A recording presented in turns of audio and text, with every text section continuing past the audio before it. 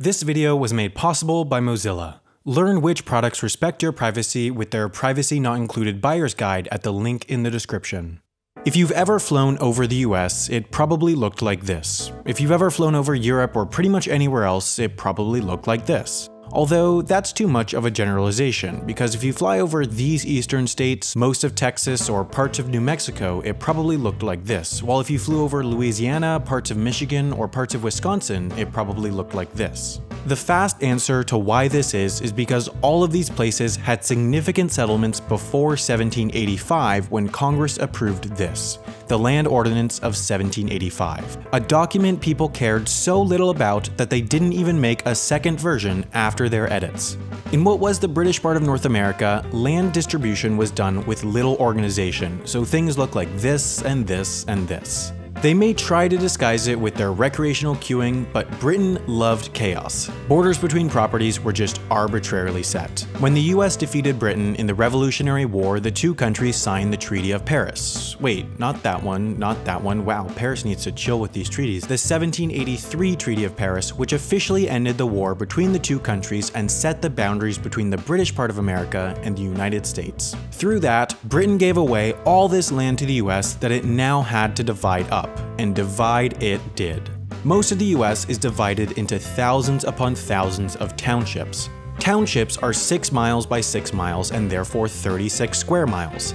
Each of these square miles is a section and the 36 sections are numbered 1 to 36, for the most part, the US sold these sections off to settlers with the exception of sections 8, 11, 16, 26, and 29. Section 16 was always reserved for education. In a lot of cases, schools were physically put in section 16 of their township, so you'll still find many schools today in section 16. But in many other cases, the state just sold off the section 16s and the proceeds were put towards public education. The other reserved sections, 8, 11, 26, and 29, were held by the federal government for later sale with the expectation that the land prices would increase. Every state was designated a baseline and meridian from which the numbering of the townships would begin. For example, St. Francis, Kansas is an S22 T3S R40W since it's in Section 22, 3 townships south of the baseline and 40 townships west of the meridian. Most places have renamed the different townships, but some, such as lovely T9R14 in Maine, have not. Since Maine still has townships with populations near zero, they just haven't bothered to rename many, so you'll still see blocks of land labeled on maps using this system.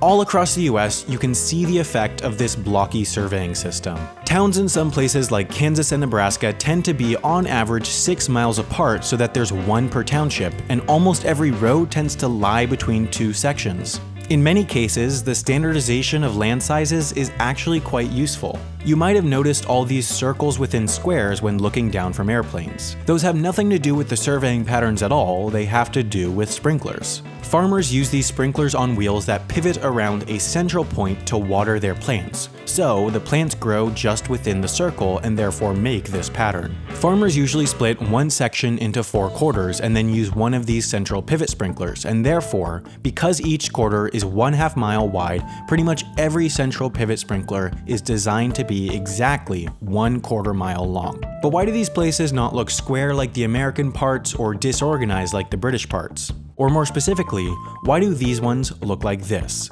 Basically, because France. Compare this image of the Dordogne in France to the Mississippi in Louisiana. They're nearly identical. Since France originally settled Louisiana, they decided how the land would be allocated and they chose this style. These long tracts, called arpents, were designed to give the maximum number of people possible access to the rivers so that they could move their crops by boat. The idea was that everyone would live on the riverside of their property so that, unlike with the US system, everyone could live relatively close to each other in order to socialize and eat cheese and stuff.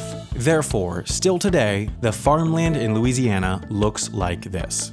But what looks like this is Mozilla's Privacy Not Included Buyer's Guide. The holidays are coming, and a good gift is one that won't spy on people. But the good news is that Mozilla has created a completely free and super simple way to figure out how much different products respect people's privacy. For example, you can learn that the Google Home shares data with third parties for advertising while Edwin the Duck tracks users' locations. Instead of just hoping that you'll be fine when a big data breach happens or wishing companies would respect your privacy more, make a difference with your wallet and buy the products that give you security.